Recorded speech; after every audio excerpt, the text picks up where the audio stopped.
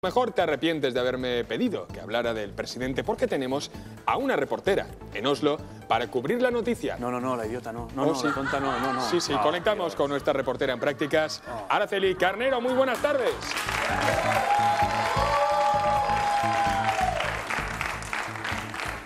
No me, no, no, no, no, no, no me bailes, Araceli, no me bailes, porque tú no estás en Oslo, sos la T4, Sí, tú estás en Madrid.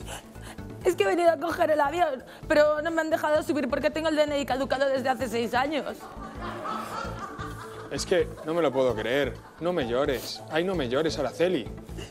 Va, no, no, no, no, puchero no, va. Te perdono porque, eh, porque, eh, en fin, has conseguido algo que pocos periodistas han conseguido, ¿no? ¿Hacerlo peor que Curry Valenzuela? No, Ah. no, me refiero, y esto, eh, Araceli, ya verás ahora que bien, eh, me refiero a que has entrevistado al presidente Zapatero, ¿sí o no? Araceli logró estar con algunos de los periodistas con más renombre del país para hacerle una pregunta al presidente. Creo que vamos a batir el récord Guinness de la vergüenza ajena. Hola, señor Zapa, eh, señor ZP. Yo es que me, me mandan los de lo que hicisteis para que pregunte unas preguntas. Pero hay tanta gente aquí metida que no sé quién preguntar. A mí, en este caso. ¿Ah, sí?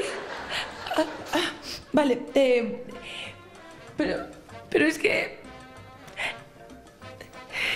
Es que... Tenía que haber mandado a alguien mejor. Nadie puede entender que es mejor que nadie. Sí, ¿verdad? Pues en este caso le voy a hacer una pregunta. Si es que no sé qué preguntarle. Lo sabe muy bien. Lo sabe. Sí, sí, sí, sí, sí, sí, me la sé. Sí, me la sé, me la sé, me la sé. Eh, no, no lo sé. Lo sabe. Bueno, vale. Eh, voy a hacerle una pregunta.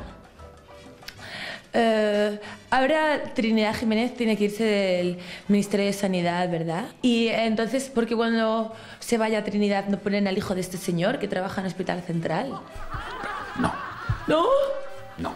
¿Ya me he vuelto a equivocar? Sí. Me acabo de una pregunta muy tonta, sí. Era malísima, soy tonta. En parte. Hasta el presidente dice que soy tonta.